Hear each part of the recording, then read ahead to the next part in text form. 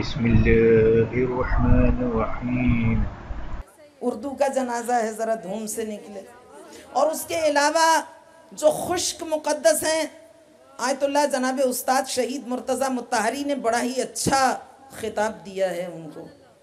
बेचारे खुश्क मुक़दस दीन की अलिफ बे जिनको मालूम नहीं है, वो दूसरों को दीन सिखाने चल पड़ते हैं। ये बड़ी ही शर्म का मकाम है, बहुत शर्म का मकाम है। आप हमें अपना काम करने दें, खुदा रहा हमें अपना काम करने दें, हमें मालूम है हमने अपना काम कैसे करना। आपको एक बात बता दूँ, चूँकि वक्त में गुंजाइश नहीं है, मुझे कल एक खातून का कैलिफ़ोर्निया से फ़ोन आया। मैं इतनी सोशल मीडिया से अवेयर नहीं हूँ, मुझे इतनी ज़्यादा इसकी समझ नहीं है। तो उन्होंने कहा कि ये यूट्यूब पे तकरीर के दौरान जो कमेंट्स पास होते हैं। तो मैंने कहा, मैं तो दिख रही हूँ टीवी पे, मुझे तो नहीं नज़र आ रहा। कि नहीं, आप अपना मोबाइल खोलिए। मुझे अभी अच्छा अभी तो नहीं है, मेरे पास फरागत नहीं है। बहरहाल तो मसला ये है कि एक फ़िकी मसला आपको बता दूँ।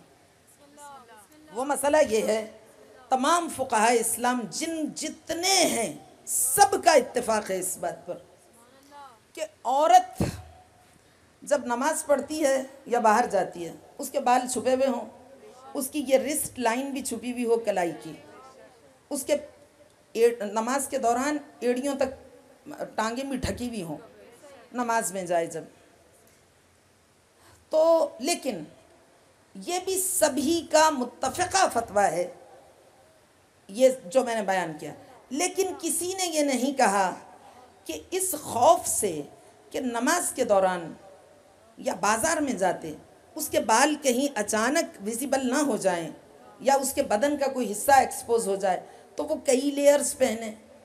इसका हुक्म नहीं है। एक शख्स है, मन कतल मन कतल नफसन फ़कानमा कतल नासा जमिया। उसने एक इंसान को मार दिया अमदन।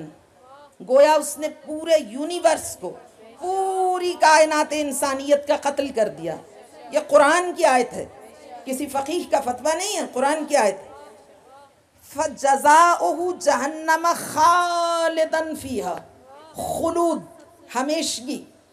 कभी जहन्नम से निकल नहीं पाएगा। खालिदन। मन कतला मुमिनन मुतमदन जिसने जानबूझ के इंटेंशनली कत्ल किया। वो जाएगा भी जहन्नम में और जजाऊ जहन्नम खालिदा। हमेशा रहेगा। कभी कोई बख्शिश की उम्मीद ही नहीं है।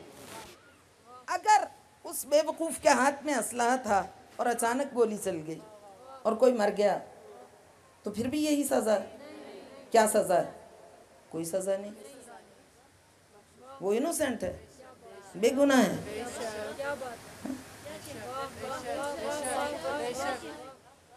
बात समझ में आई? इस्लाम ने जो औरत को पर्दे का हुक्म दिया है, उसमें एक शराफत मंदाना लिबास है।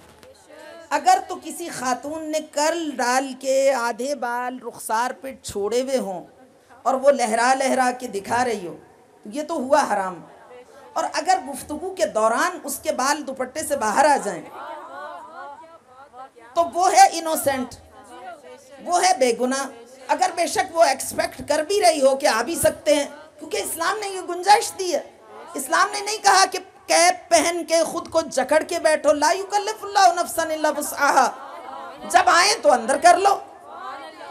और किया? अगर बाहर आ जाएँ, वो तो है इनोसेंट और जो बदबख्त तनकीद करता है और उसकी कैरेक्टर असैसिनेशन करता है, वो जाएगा सीधा जहन्नम में। वो बदबख्त सीधा जहन्नम में जाएगा। ये काली भेड़े हमारे मज़हब में ये लाल मस्जिद से घुसी हुई हैं। बदबख्त, जिसे ये फ़िक्र है बदबख्त को, कि जवान लड़कियों को, उनके इस्लाम को मेरी जात से खतरा है।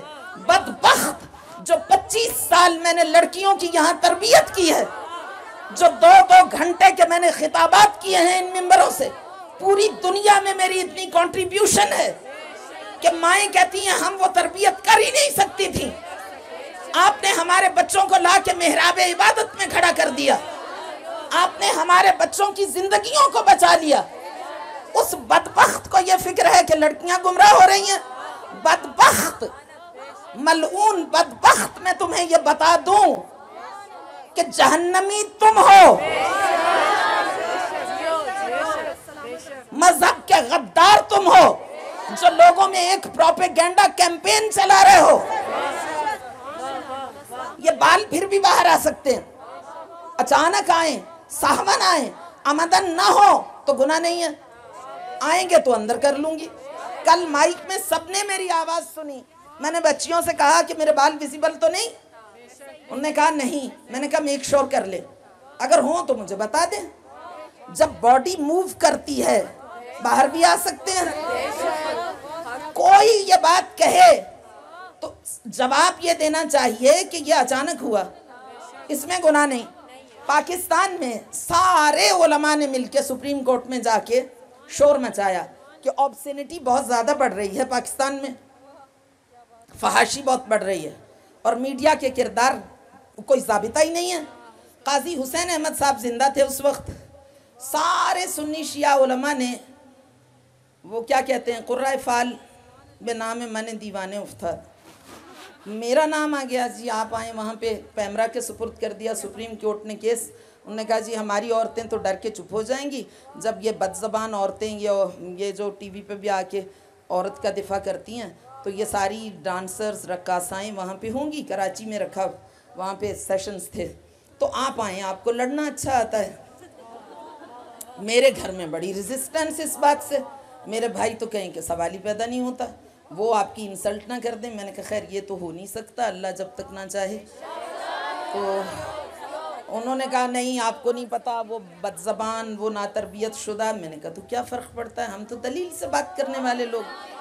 ये माने ही ना आखिर काजी हुसैन अहमद साहब ने भाई को फ़ोन किया। उन्होंने कहा, देखिए, सब उलमा ने, पाकिस्तान के सुन्नी, शिया शुक्र करें, हनफी, बरेलवी, किसी एक पॉइंट पे तो इकट्ठे हुए। सबने इनका नाम दिया है। तो अब आप हर्डल ना डालें इनको आने दें कराची। खैर मैं चली गई।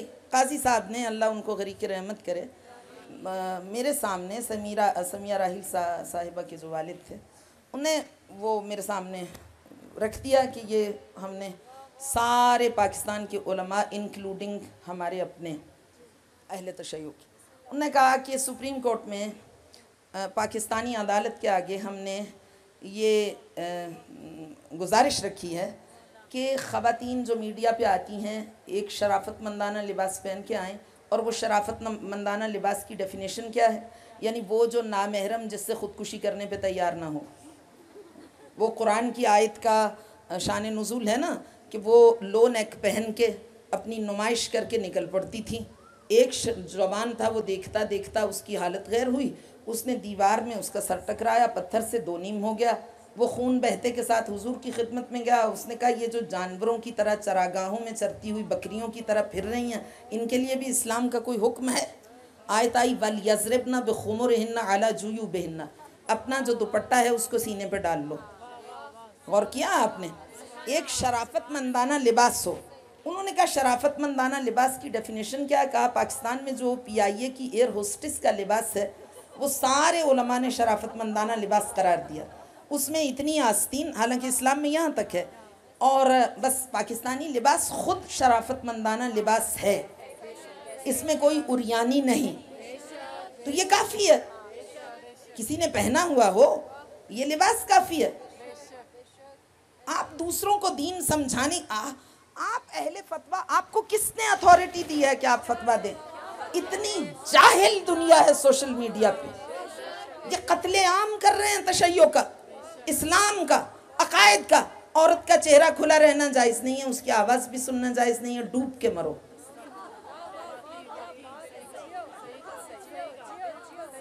जैद आलम दीन नजफ़ अशरफ के फ़ारग तहसील खुदा उनकी उम्र में इजाफा करे, उन्हें काबिल रश्क से नायत फरमाए और सादिक ट्रस्ट को उनकी सरपरस्ती में तरक्की और इरतका और और जो उरूज से नवाजे। जनाब शेख शिफा, खुदा उनकी उम्र में इजाफा फरमाए। कई सालों से ख्वाहिशमंद थे और उनकी ख्वाहिश मेरे लिए हुक्म का दर्जा रखती है। मेरे अपने रीज़न्स थे। मैं नहीं आ पा रही थी सादिक में। लेकिन उनकी ख्वाहिश, यानी उनका हुक्म मेरे लिए कि मैं उस इमाम बारगाह में पढ़ूँ, यानी सादिक में पढ़ूँ। उनको बता दीजिए फिर कि फतवा क्या है? औरत की आवाज़ तो सुन नहीं सकते, चेहरा तो देख नहीं सकते। अफसोस का मकाम। सद अफसोस। सद, हम अपना हम अपना काम कर रहे हैं, तुम अपना कुत्ते भौंकते रहते हैं, काफिले चलते रहे। और वो क्या शायर ने अच्छा कहा है कि वो कहता है कि अभी एक एक शेर पढ़ूँगी ताकि वो रदीफ़ और काफिया की सेटिंग आपके जहन में हो जाए, फिर अगला शेर है जो मेरे मुद्दा को बयान करता है।